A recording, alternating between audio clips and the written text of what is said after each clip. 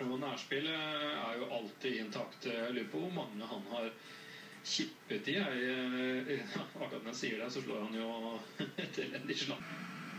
Tydeligvis ikke båndtvang her heller, som man ser bak til venstre der.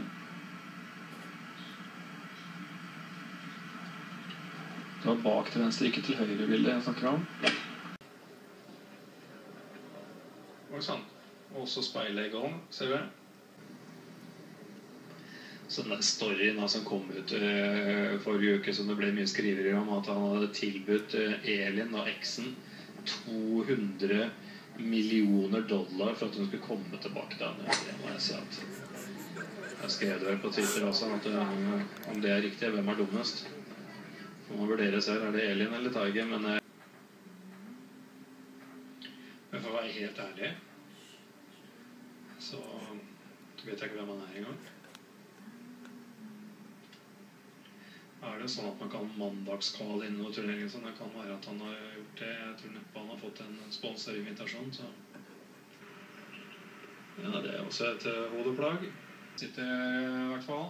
Han sa jo bare at han har vært uh, helt med putteren. Ricky Fowler som caddy, eller? Skal tatt seg ut.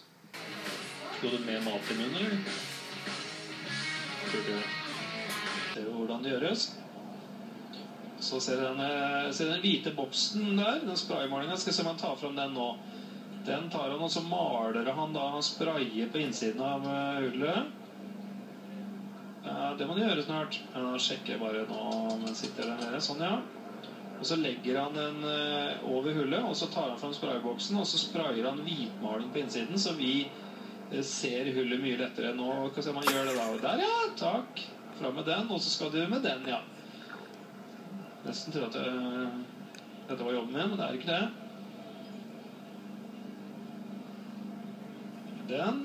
Sånn. Og så skal det spraye og males. Og, og det her har jeg snakket om i ganske mange sendinger. Jeg syns at klubbene rundt omkring kunne få Det her er ikke ting som koster noe, det utstyret han bruker nå den siste halvminutta her. Se bare nå. Gjør han bare sånn som det her. Sånn. Og så er hullet hvitt og fint, og så syns uh, så mye bedre på TV. Og det er litt morsomt for klubbmedlemmene også når det er turneringer i helga og, og sånn. Å kunne spille med litt hvite hull som Så også fram med en liten neglesaks. Neglesaks er kanskje ikke så viktig, men uh, Kommer inn og skal følge golfen og tror at nå skal ting avgjøres her uh, rundt midnatt, som han er vant til på PGA-turen. Men pga. at det ikke ble noe spill i går Ikke så veldig mye spill i dag heller for Robert, og for pluss fire. Jeg sitter med en følelse av at han gjør bunkerslag putt ni av ti ganger herfra, faktisk. Den her tror jeg ikke blir langt unna. Det skulle jeg aldri sagt. Det var dårlig bunkerslag. Og midt i bananen min her så setter jeg den i halsen, rett og slett. Hvor er rød T-skjorta da, Tiger? Det er fjerde runde. Rød søndag. Sparer du den til i morgen, har du bare med deg én rød. Han ligger litt i oppoverbakken. Det er jo en fordel, så han kan få bra høyde på det slaget. Men han har elendig kippeteknikk. Det kombinerte jeg i går også for dere som var med og så da. Han, er, han ser ut som han omtrent har gipsa armene på han. Og han har ingen kippeteknikk, holdt på å si whatsoever. Det er litt sånn Unnskyld at jeg sier det, Liv Westwood, men det ser ut som han har gått på i kippeskole hos Westwood. Og den, den har ikke vært fullboka, for å si det sånn. Har jeg iallfall det brede smilet tilbake. Flink til å pusse tenna, Tiger. Keane, han var jo spådd en stor karriere i dette spillet for mange år siden. God amatørkarriere. Slo vanvittig langt. Hadde liksom alt. Men sa skader og litt annet rot og sånt, så har det ikke blitt noe. Hans største meritt har vel nesten vært at han var kjæreste med Serena Williams en periode. Så eh, dere får eh, få på noen eh, håper å si noen flasker rødt og få det riktig temperert og glede dere til fredag lørdagskveld. Og for å matche amerikaneren tror jeg man kanskje har et par en kald sixpack i kjøleskapet. Vi snakker selvfølgelig Munkholm.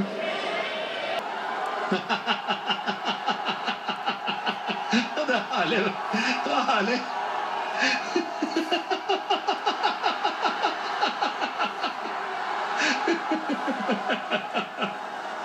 Ja, det er moro at Caddy byr på dette. Det er jo elsker publikum, selvfølgelig.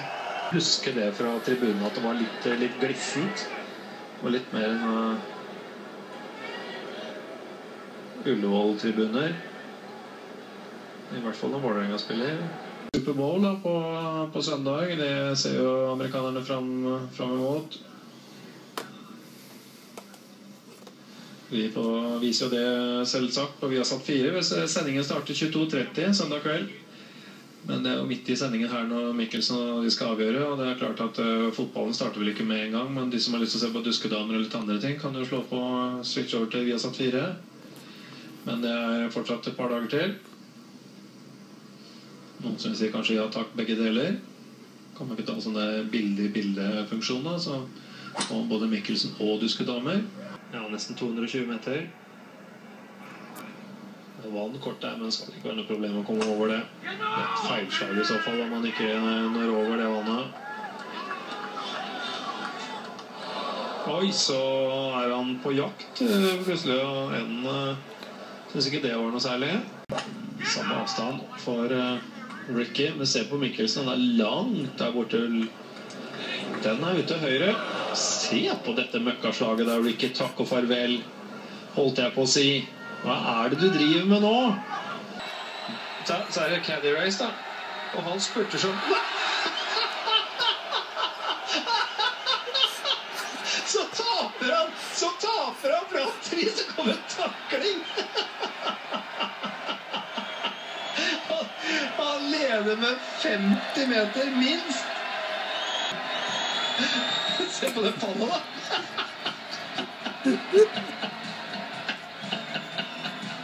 Han ble takla egen golfbag. Sette opp litt program. Oh, Keegan ned til fuglene. Birdies er bra, men ikke når de er ute og svømmer. Sen har holdt på med et eller annet som har tatt litt tid. Ja, spillerne må inn i noen sånne På svensk så heter det bajamaier. Litt usikker på hva den heter på norsk. Ja. Portable toaletter. Det viser seg når vi skal summere opp at det var helt avgjørende hullet.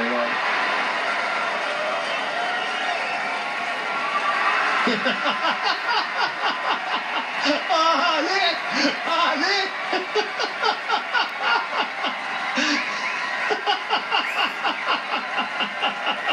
Ah, klassiker! En klassiker! På Twitter. Ja, hyggelig det her.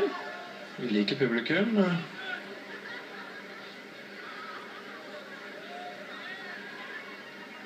Noen kanskje enda bedre i spørs hvilke fasonger vi snakker om. Greg Det var Jonas Blixt som gir ut noen svenskevarer. Vært på harryhandel, han da. Eller heter vel ikke harryhandel ettersom han er svensk. Da er man bare generelt harry. Selv om man spiller mot en skotte. Der kommer ballen flyende snart. Der, ja. Nei, altså ned i bunkeren. Vi ligger nærme, så han måtte lande den eh, Ikke om dere hørte en flue like tydelig som det jeg gjorde. Men da skal finalen ut. Kuchen Så kledelig den blå capsen der er eh, Tim Fincham. I forhold til den blå DS-jakka. Så ganske klønete ut, spør meg, men ok. Hjulet back nine der, da, med en pitchetid fra Røffen. Mens da Potter var på green. Og nok en til venstre. Han holder på med det hele tiden nå. Har du snart flere baller igjen, eller? Ha den boggen her og gå videre, Tiger. Det utslaget var forferdelig. Så det er to spillere som har litt å jobbe med. Må få bort de på godt norsk, jeg tør å si det, drittslagene. Det er deilig å høre på livesendinger, da får man liksom ikke klippet bort. Men landet den nede i vannkanten og spratt opp? Den gjorde vel det, gjorde den seg nå? Ja, den er faktisk nede i vannet, ja. Og spretter opp. Hva er det vi sier? Gode spillere har flaks. Er det mulig? Lande ballen i vannet, og så spretter man opp? Og traff en eh, skilpadde som lå under der og småsov, eller?